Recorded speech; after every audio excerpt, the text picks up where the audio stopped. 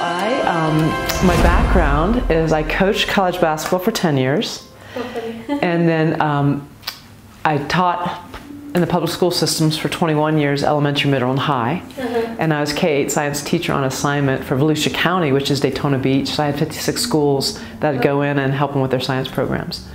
So I, I really have this interesting background of from elementary to college age people of mm-hmm. and developmentally, like understanding motor skills, learning habits, mm-hmm. all that. Mm-hmm. So when sound found me, I didn't find sound. Sound found me, mm-hmm. um, and I added it to my because it's a receptive modality, mm-hmm. whereas the movement's active. Mm-hmm. And a lot of people in these past ten years have just been tired.